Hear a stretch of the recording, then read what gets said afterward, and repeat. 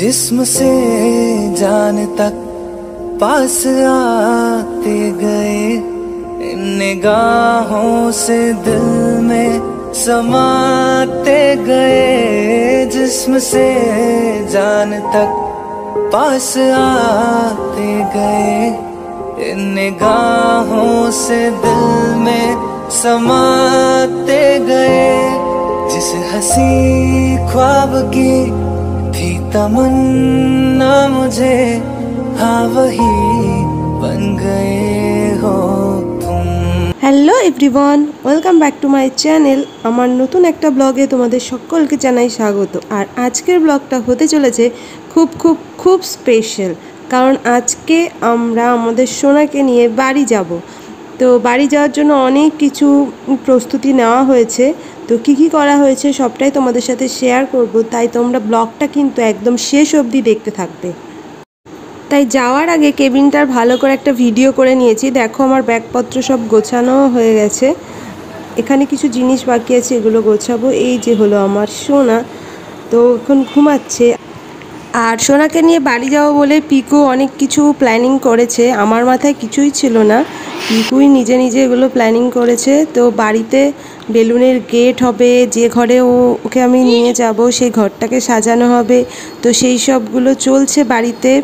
প্রস্তুতি আর ওদিকে আমরা সমস্ত কিছু গুছিয়ে প্রস্তুতি নিচ্ছি। দেখো আমাদের বেলুনের গেট পুরো রেডি হয়ে গেছে। আর আমাদের ঘরটাও রেডি হয়ে গেছে, বেলুন দিয়ে সাজানো। এই ঘরটাই আমি ওকে নিয়ে আসব সেই জন্য এই ঘরটাকেই সাজানো হয়েছে।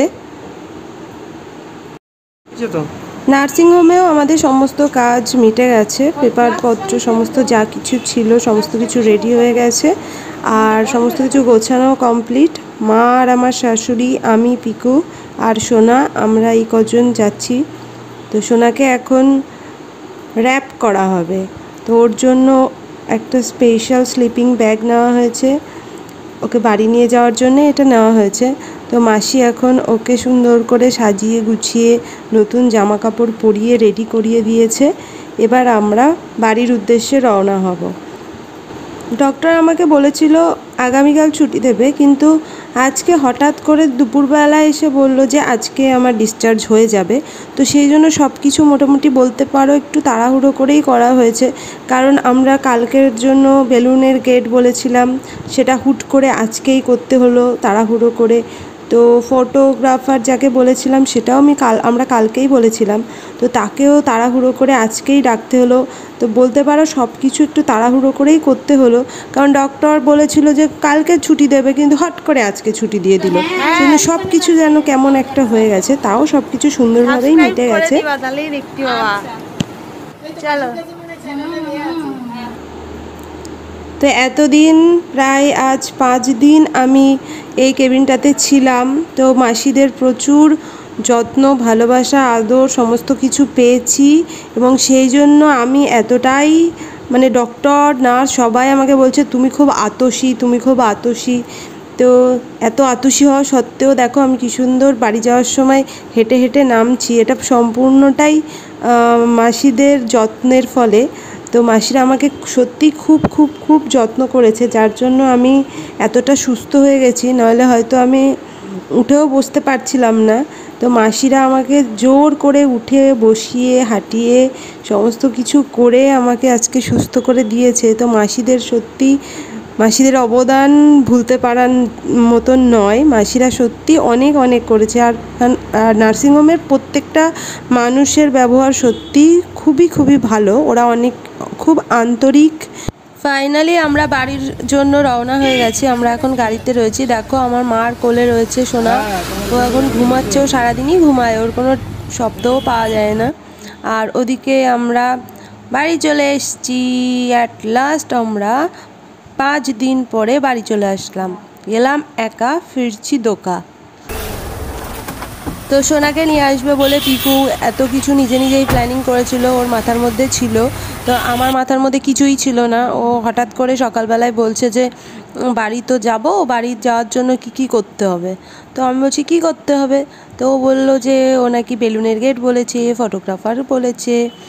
তো আমার তো খুব ভালো লাগল শুনে। যে সত্যিই তো আমার তো মাথায় এগুলো ছিলই না ভাগ্যিস পিকু এগুলো মাথাতে, মাথায় রেখেছিল, ওই জন্যে এত সুন্দর করে সোনার ওয়েলকাম আমরা করতে পারলাম। দেখো এখন ফটোশ্যুট চলছে। আমার বাবা ভয় পাচ্ছিল ফার্স্টে ওকে কোলে নিতে, জোর করে বাবার কোলে দেওয়া হয়েছে। তো এই দেখো, আমরা তিনজন। এখানেও ফটোশ্যুট করা হলো কিছুক্ষণ, নিচে দাঁড়িয়ে। এই যে আমাদের ঘর এই ঘরে সোনাকে নিয়ে আসা হবে।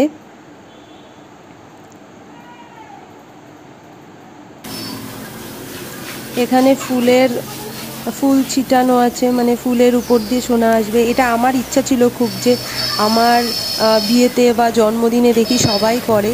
তো আমার খুব ইচ্ছা ছিল করার। তো সোনার জন্য আমার ইচ্ছা, আমার ইচ্ছাও মানে পূরণ হয়ে গেল।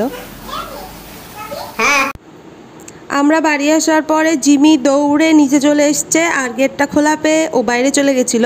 ওই জন্য ওকে শিকল দিয়ে ওখানে আটকে রাখা হয়েছে। ওদিকে আমার মা বাড়ি আসার পরে স্নান টান করে বরণ করবার জন্য থালা নিয়ে রেডি এবার আমাদের তিনজনকে মা বরণ করে নেবে।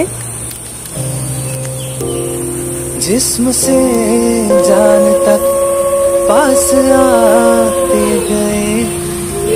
निगाहों से दिल में समाते गए जिस्म से जान तक पास आते गए इन निगाहों से दिल में समाते गए এখানে বরণ করার সাথে সাথে কিছু ফটোশ্যুটও হয়ে যাচ্ছে তো খুব ভালো হয়েছে যে পিকু মাথায় এটা ছিল সেজন্য এই সুন্দর সুন্দর মুহূর্তগুলোকে আমরা ক্যামেরাবন্দি করতে পারছি। তো আমার শাশুড়ি ওকে নিয়ে প্রথমে উপরে উঠছে।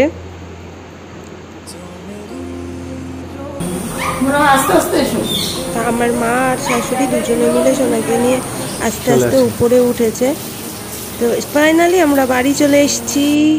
তো সোনা আজকে প্রথম বাড়ি আসলো। তো ব্লগটা তোমাদের কেমন লাগছে অবশ্যই আমাকে কমেন্টে কিন্তু জানিও। তো তোমাদের জন্যই এত শরীর খারাপের মধ্যেও ভিডিও বানাতে আমি ভুলিনি যে প্রত্যেকটা মুহূর্ত তোমাদের সাথে শেয়ার করব। কারণ তোমরা এখন আমার ফ্যামিলি মেম্বারের মতন হয়ে গেছো। তো যেটুকু যা করছি সবটুকুই তোমাদের সাথে শেয়ার করার চেষ্টা করছি। তো তোমাদেরকে আনন্দ দেওয়ার চেষ্টা করছি যাতে তোমরা আনন্দ পাও। তো সুতরাং কেমন লাগছে ব্লগটা অবশ্যই কিন্তু আমাকে কমেন্ট করে জানিও। আর এই দেখো সোনা, সোনার পাপা এখন ফটোশ্যুটে ব্যস্ত, এবার আমাকে একটু নিয়েছে ওরা। আমার মধ্যে একটা ব্যাপার আছে, সেটা হলো আমার, আমাকে একটা সুন্দর জামা পরিয়ে দিতে হবে আর ফটোগ্রাফার বা ক্যামেরাম্যান যেই থাকুক না কেন, যদি ভালো ক্যামেরা হয় আমার যেন সমস্ত অসুখ দূর হয়ে যায়, আমার ব্যথা, যন্ত্রণা, শরীর খারাপ মানে আমি সব কিছু ভুলে যাই ফটো তোলার জন্য। তো সেই জন্য দেখো আমার কোনো অসুবিধাই নেই, আমি কি সুন্দর ফটো তুলে যাচ্ছি ফটো তুলে যাচ্ছি। এই দেখো এবার সোনাকে শুয়ে দেওয়া হচ্ছে, এবার সোনার কিছু সিঙ্গেল ফটো নেওয়া হবে। তো ফটোগুলো আমি তোমাদের নেক্সট ব্লগে দেখাবো, খুব সুন্দর সুন্দর ফটো এসছে। আর এই ফটোগুলো তুলেছে রাকেশ, আমাদের বনগাতেই বাড়ি। এখন রাত হয়ে গেছে আমার বাবা বাড়ি চলে এসছে। দেখো আমার বাবা তখন কোলে নিয়েছিল আর এই যে ফার্স্ট কোলে নিল। আর আমার মা এখানে আমাকে খাইয়ে দিচ্ছে। তো আমি বসে বসে খাচ্ছি আর এই ভিডিওগুলো ছোট করেছে। আর আমাদের জিমিকে দেখো ও কিন্তু এখনও বুঝতে পারেনি যে কিছু একটা ও গন্ধ পাচ্ছে যে কিছু একটা নতুন কিছুর একটা গন্ধ পাচ্ছে কিন্তু এখনও বুঝতে পারেনি যে আসলে ব্যাপারটা কি। ওই জন্য ও অবাক দৃষ্টিতে তাকিয়ে রয়েছে। আর ও কাপড় দিয়ে র্যাপ করা রয়েছে তো ওই জন্য মুখ চোখ কিছুই দেখতে পাচ্ছে না।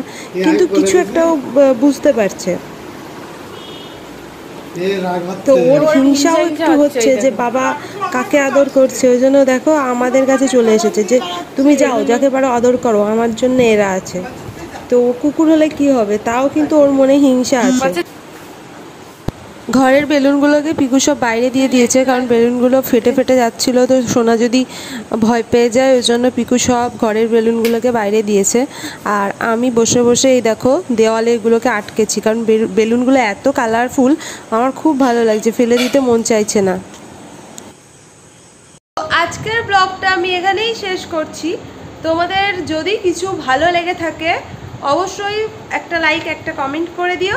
আর যারা নতুন দেখছ, তারা অবশ্যই আমার চ্যানেলটিকে সাবস্ক্রাইব করে দিও।